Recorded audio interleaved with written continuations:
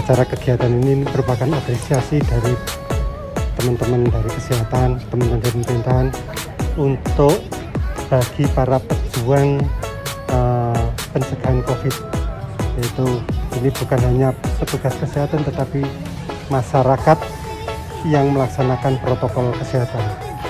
Ke depan ini jadi mereka yang bekerja ini kita kita hargai, mereka yang melaksanakan uh, protokol kesehatan itu pun kita kita hargai juga harapan kita pandemi ini segera bisa berakhir. Kabupaten kita saat ini kita kan berada di zona orange ya, zona orange dan kita masih sulit untuk bisa menuju zona kuning ya, karena memang mobilitas masyarakat itu masih untuk itu satu-satunya jalan adalah kita harus melaksanakan protokol kesehatan ini secara disiplin dan konsisten.